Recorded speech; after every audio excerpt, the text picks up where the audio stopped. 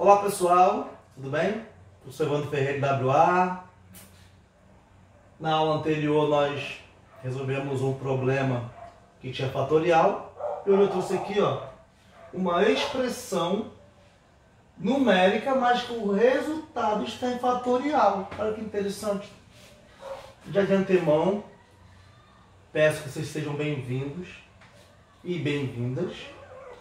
E já deixa o likezinho lá, compartilha, convida seus amigos para estudar com vocês.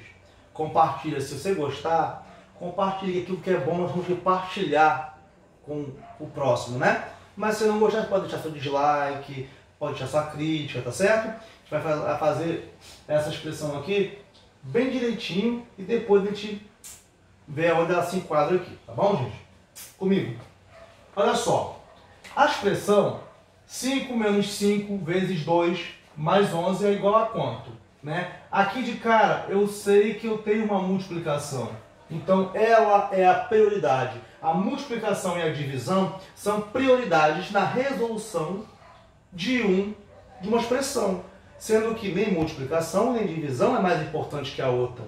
Qual é mais importante? Quem resolve primeiro?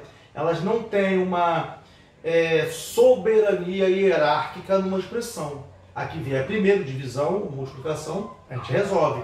Multiplicação ou divisão, a gente resolve. Tá certo? Então, hierarquicamente, elas são iguais. Ok? Então, aqui, ó, a gente sabe que, né? Repete o 5.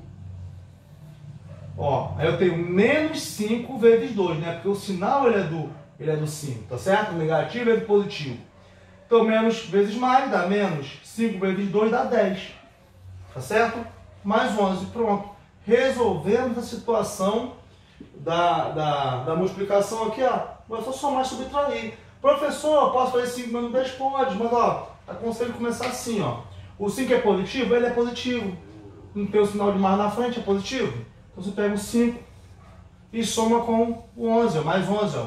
Dá 16, tá certo? Então, ó, para quem está estudando expressão numérica, ó, vai dar 16. Menos 10. E 16 menos 10 vai ser igual a 6. Professor, mas não tem 6 ali. Ah, então como é que eu vou marcar? Gente, o fatorial eu falei na aula anterior, né, no vídeo anterior, que ele é um número vezes o seu antecessor, vezes o antecessor até chegar ao número 1, tá? E aqui o zero fatorial já nem pode chegar ao 1, o antecessor dele é menos 1, e não entra na história. 1 fatorial já é o próprio 1, né? Então, aqui é 1. O 2 fatorial é o que? É 2 vezes o antecessor, vezes 1, que é igual a 2. E o 3 fatorial? É 3 vezes o antecessor 2, vezes o antecessor 1. 3 vezes 2, 6 vezes 1, 6. E 6 bate com 6. E 6 bate com 3 fatorial. Então aqui encontramos a resposta 3 fatorial. Agora posso pedir, né? Deixe seu joinha, compartilha, comenta e estude, tá certo? Forte abraço, tudo de bom e a aula terminou.